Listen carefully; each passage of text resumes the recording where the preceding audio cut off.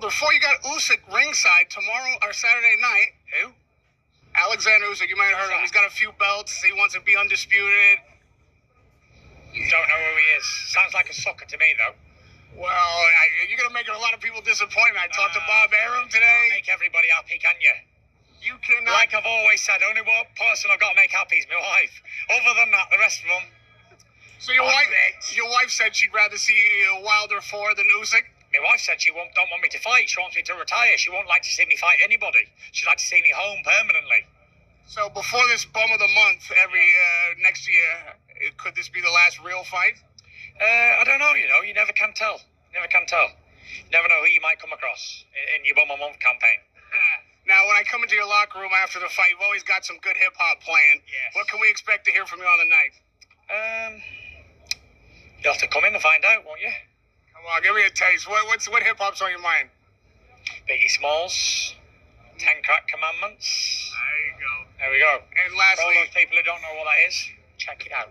lastly, Usyk has said he's Oh, gonna climb Usyk. in the ring. He's gonna climb in the ring after you fight. Fuck him.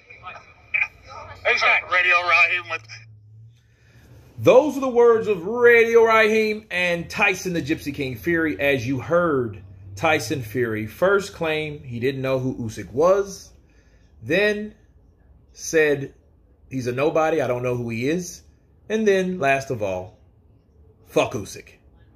Now, the big news is really that Usyk is going to jump in the ring. Now, I would like to see that based on what we already heard. Because Tyson Fury said that he's going to slap him. And he put that on something. When I mean he put that on something, he said, I swear, uh, to something, right? He put that on something.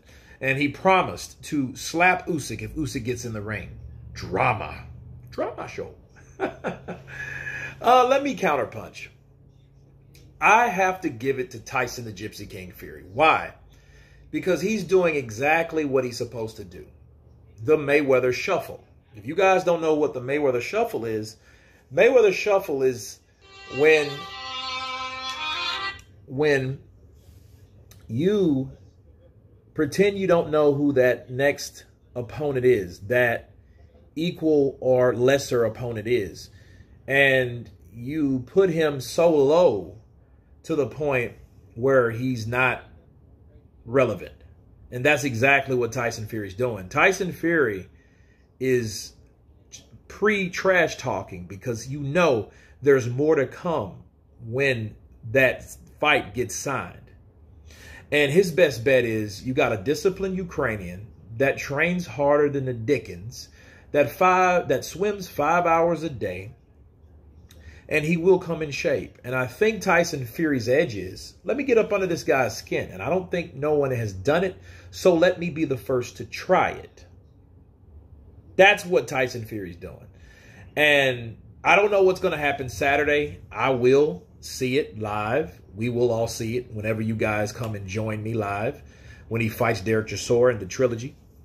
Stay tuned for the weigh-in because I'll be doing a live show for that. Um, but as far as Tyson Fury, he's totally not giving Usyk any credit. So this is what happens though. When he beats him, right? He can always say, well, he was a bum anyway. I told you so. See there? What they're going to say when I beat him. Similar to Mayweather, the Mayweather shuffle. Okay, because Mayweather said the same thing about Pacquiao six years before he ever fought him um, when, when I beat Manny Pacquiao, what they gonna say? They gonna say, um, he was too small. They they gonna say he he he wasn't the right size. They say I was too big. so that's exactly what Tyson Fury's doing. But at the same time, he's putting himself up here and putting Usyk down here by reputation. So that I say to Tyson Fury about Tyson Fury is priceless. But anyway, you guys tell me what you think of Tyson Fury saying that he doesn't even know who Usyk is. Of course, please subscribe. And you guys been Counterpunch. Peace.